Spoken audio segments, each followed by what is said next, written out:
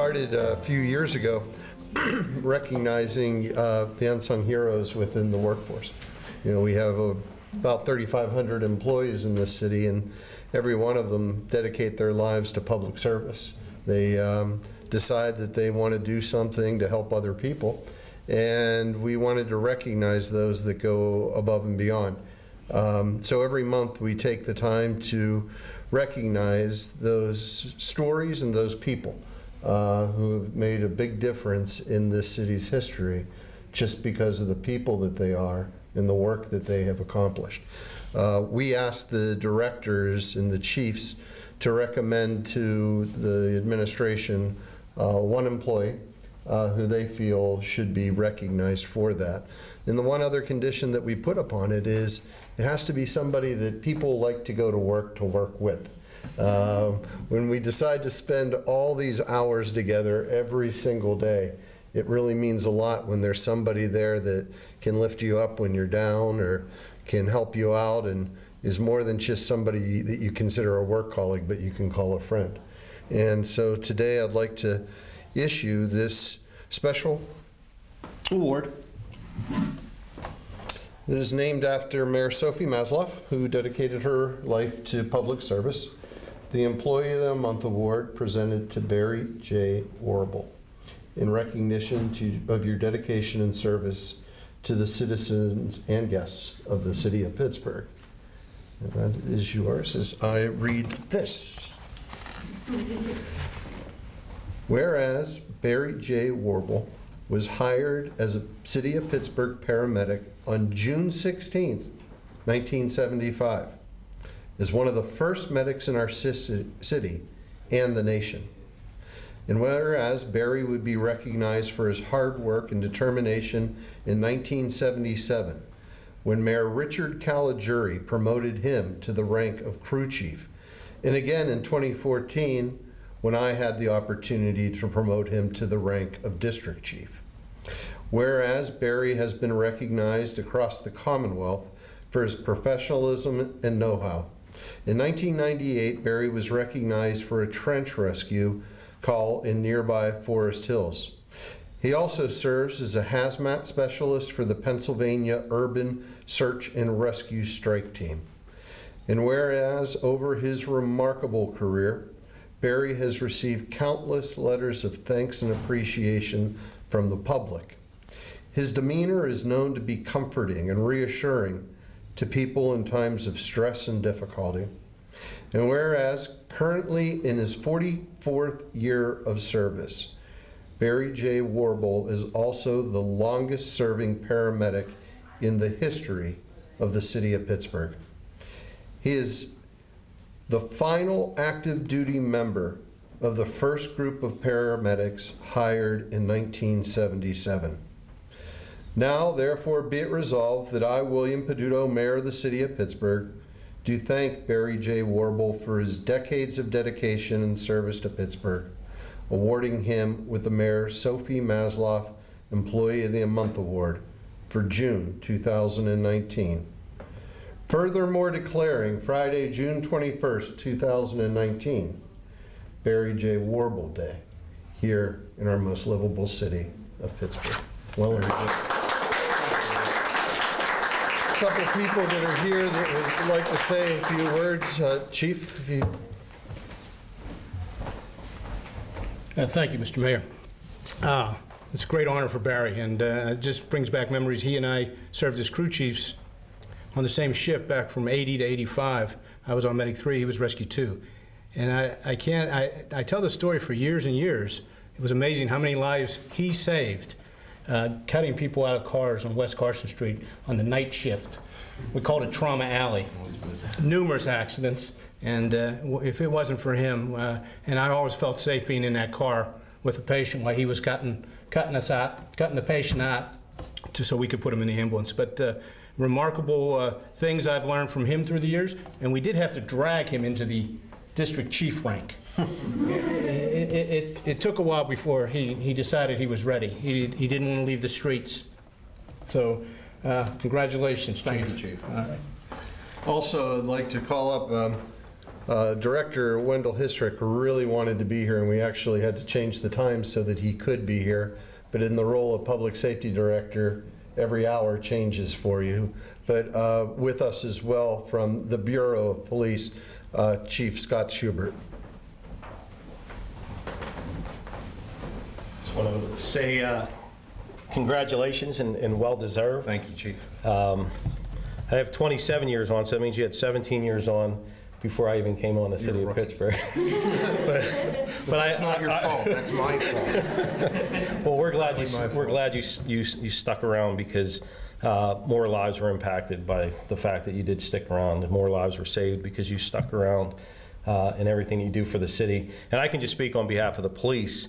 Um, We appreciate what you do. I mean, I remember being a rookie in, uh, in Zone 5 in, in, in the early 90s, and what you've done, uh, just on the calls that we've seen you at, um, but how you helped our officers as well over the years uh, through a lot of different uh, tragic situations. Um, You were always there for us as well, uh, for the community and for us, so we appreciate it and wish you well. and, Thank you uh, very Thank much, you for what you do. Thanks. Before I turn the mic over to you, I just want to say it's an honor to have your family here for this special day as well. Um, Your dad created and defined what a medic is in this country. Uh, I hope you realize that. Uh, He didn't have somebody to look at and say, this is what the job will be in Pittsburgh. He and those that started the Pittsburgh paramedics started a whole new industry. And they were the leaders and continue to be the leaders when people come to train and to learn best practices, they come to Pittsburgh. And they set the bar very high for themselves back in the day, and that bar has never been lowered. So you should be very proud of your pops. Chief? Thank you. Thank you all for having the good fortune to not having stepped in front of a bus at the wrong time. Um, uh, As sort of a point of clarification, uh, since we lived through it, uh, there was no such thing as a paramedic when we started. We were called EMT 2s because there was EMT 1, and there was no paramedic program, so to speak. So even the first call that he has the copy of back in August of uh, 1975 shows EMT P2. And it wasn't until 78 when Nancy Caroline's uh, book, uh, Emergency Care in the Streets, came out that paramedics became the word. Um, and of course, this is back in the days of Johnny and Roy. And we mention this to all, uh, we're now working with our kids and soon our grandkids working in the streets. And nine out of 10 of them have no idea what Johnny and Roy means from emergency. You know, we used to get harassed when we would go into bars. Hey, there's Johnny and Roy. Now, no one can remember that, so that's a good thing.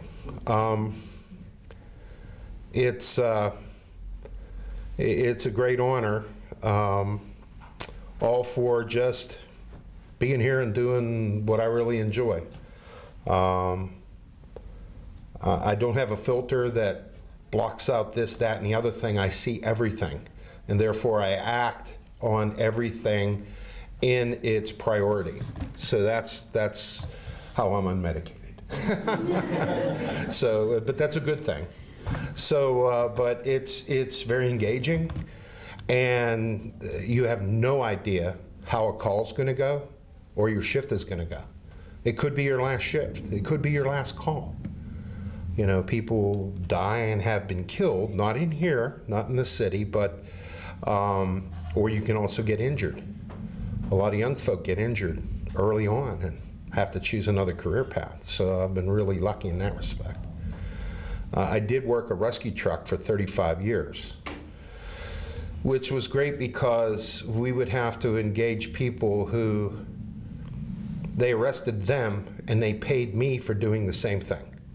They're climbing up on a bridge, we go up and get them. They arrest them, I get a paycheck. so uh, it was great. It was just fun.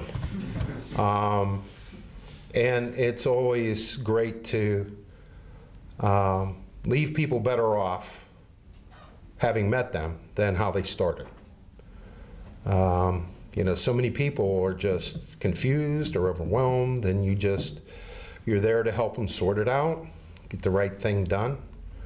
Um, and it's, it's been uh, a fantastic time and work with world-class paramedics. Uh, the, most of the folks are just unparalleled in the world. Uh, we were getting new uh, EKG monitors from the particular company. And they're finally interacting with us, and they're astounded with how busy we are, how things break. Um, there was a, a joke that the old LifePak 4 monitors from the 70s, they had a plastic handle, and the thing weighed 45 pounds. When you pulled it out, the handle would snap and break. So the one representative designed a Pittsburgh handle, which was aluminum and didn't have a stop. It could rotate all the way around. And we broke a couple dozen handles, and they said, "Wait a minute, this is this is something we have to work on." So that's just one example of things where we just busy use things, and uh, well, it's uh, fantastic. Thank you very much for the uh, recognition. Um, I thank, well, every day I thank people I'm working with. They're kind of, hey, thanks for being here. They're like, well, you're paying me. Well, that's a good thing. But thanks for being here because if they weren't here, they couldn't take care of me or my family or anyone else or continue to do the good work that we did. So, uh, thank you very much and uh, looking forward to uh, continuing my good work. Um, you know, plans may have changed here from the last year, but uh, um, I still enjoy coming to work, and I usually leave things better when I leave than when I got there. And that's what we always try to do. So, thank you very much.